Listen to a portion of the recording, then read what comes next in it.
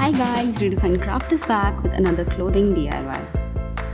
So this is a very simple t-shirt painting DIY which was inspired by Lord Shivaay and Goddess Durga.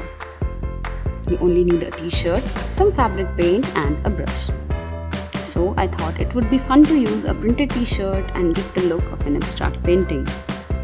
So you just need to make the portrait and color the outline just like a sketch and you can either leave it like that or go ahead and fill it with some color. Finally, give some finishing touch wherever required and it's ready. So wasn't this DIY very easy? And the fun part is it lets you recycle your old t-shirts that you are bored of wearing. So do try this out and let me know what you will be making in the comment box below. Also like and subscribe to the channel and have fun DIY.